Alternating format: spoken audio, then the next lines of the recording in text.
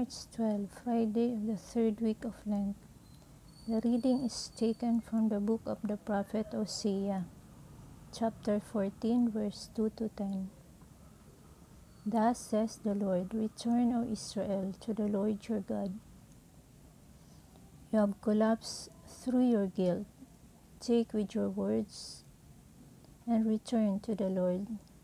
Say to him, Forgive all iniquity and receive what is good, that we may render as offerings the bullocks from our stalls.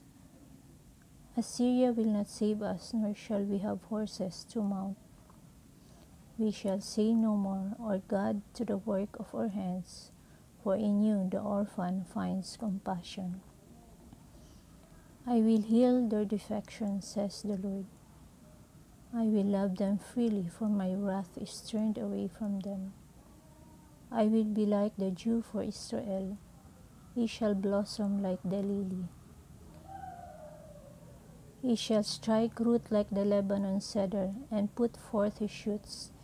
His splendor shall be like the olive tree, and his fragrance like the Lebanon cedar. Again they shall dwell in his shade and raise again. They shall blossom like the vine, and his fame shall be like the wine of Lebanon. Ephraim, what more has to do with idols? I have humbled him, but I will prosper him. I am like a verdant cypress tree. Because of me you bear fruit. Let him who is wise understand these things. Let him who is prudent know them.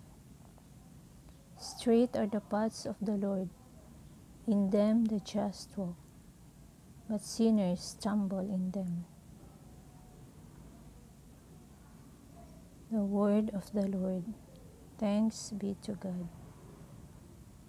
Please like and subscribe.